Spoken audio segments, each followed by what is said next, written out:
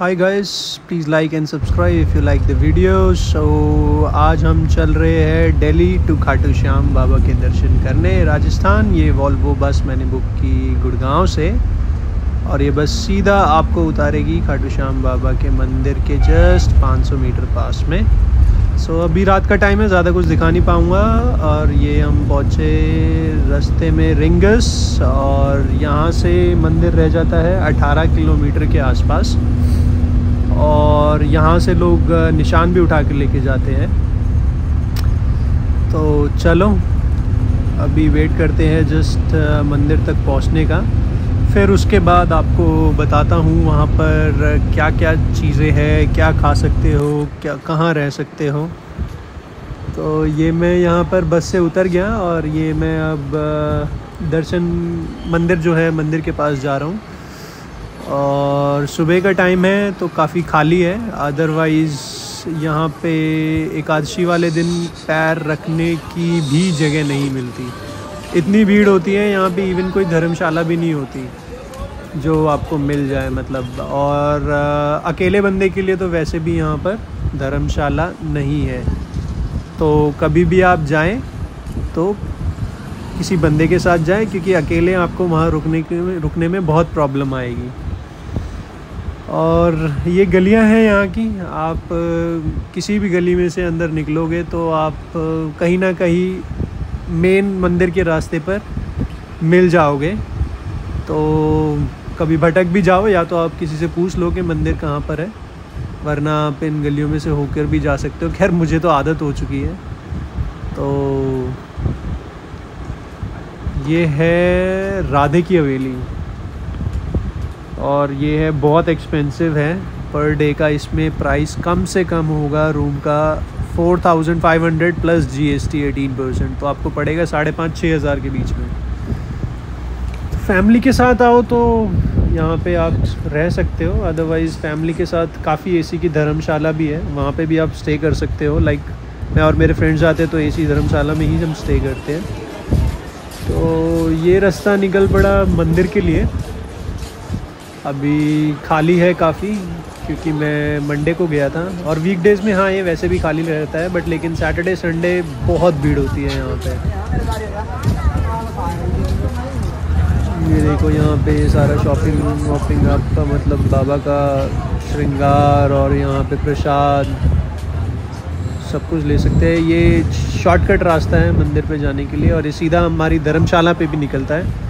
तो अभी सुबह का टाइम है मैं आया हूँ, मुझे शायद धर्मशाला मिलेगी भी नहीं, ये लेफ़्ट में मेरी धर्मशाला है, क्योंकि यहाँ पे जो भाई है वो उठते ही आठ नौ बजे और मैं यहाँ पे छः बजे पहुँच चुका हूँ। ये मेन मंदिर के लिए गेट यहाँ पे चप्पल भारी उतरवा देंगे आपकी तो चप्पल कहीं ऐसी प्रसाद वाली जगह पे उतारिएगा या फिर कोई जगह अपनी देखकर उतार लेना। चलो आओ यहाँ से चलते हैं मंदिर में अंदर। ये सोलह लाइनें हैं। आठ लाइनें उस तरफ़ है, आठ लाइनें इस तरफ़ है। मैं सबसे राइट साइड वाली लाइन में चल रहा हूँ। ये स्क्रीन्स भी चल जाती है थोड़े टाइम बाद। यहाँ पे डिस्प्ले में आप देख सकते हो। बाबा के दर्शन यहाँ पे भी हो जाएँगे।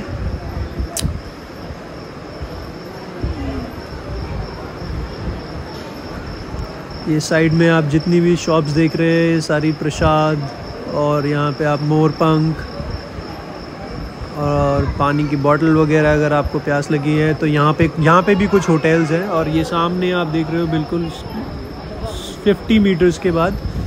यहाँ पे बाबा का भवन है, वहाँ पे आप दर्शन कर सकते हैं लेफ़्ट हैंड साइड में। पहले जो था, ये जिगजैग वाला रास्ता था तो तब दर्शन जो है बिल्कुल सामने से होते थे, लेकिन अब भीड़ बहुत ज़्यादा यहाँ पर बढ़ रही है। तो इस वजह से इन्होंने 16 लाइनों में इसको डिवाइड कर दिया है, ताकि लोग चलते चलते दर्शन कर सकें। एक चीज़ जो मेरे को यहाँ पे पसंद नहीं आती, वो है लोग प्रसाद और फूल फेंकते हैं।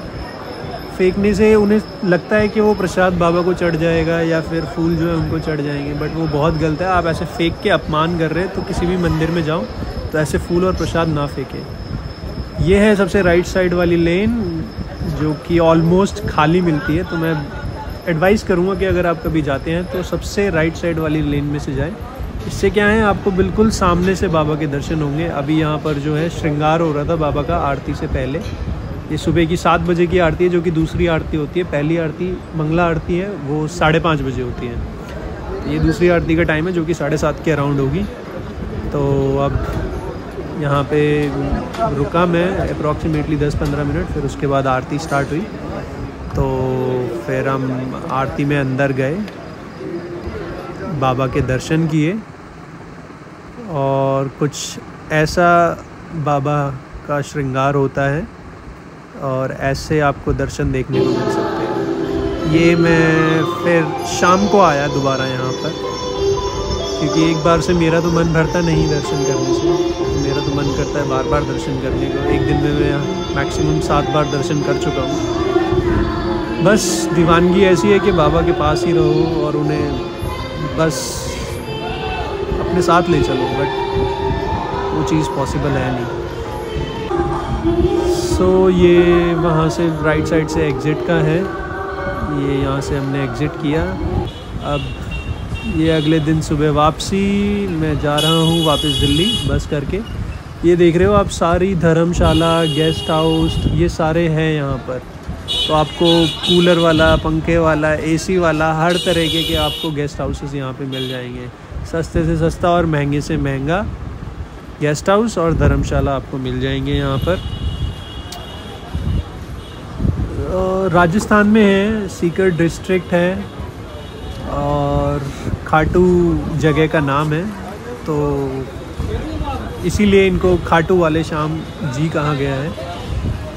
क्योंकि ये खाटू में है मंदिर इनका और ये है सावरिया धर्मशाला। ये काफ़ी अच्छी धर्मशाला है, लेकिन ये सिर्फ़ जो है फैमिली वालों को ही रूम देते हैं सिंगल लोगों के लिए रूम नहीं देते। ये आ गई हमारी बस। भाई, ये बस मैंने की थी यात्रा से और ये बस जो है नवीन ट्रैवल्स की है। काफ़ी अच्छी बस मुझे लगी स्पेशियस थी और काफ़ी नीट एंड क्लीन बस थी।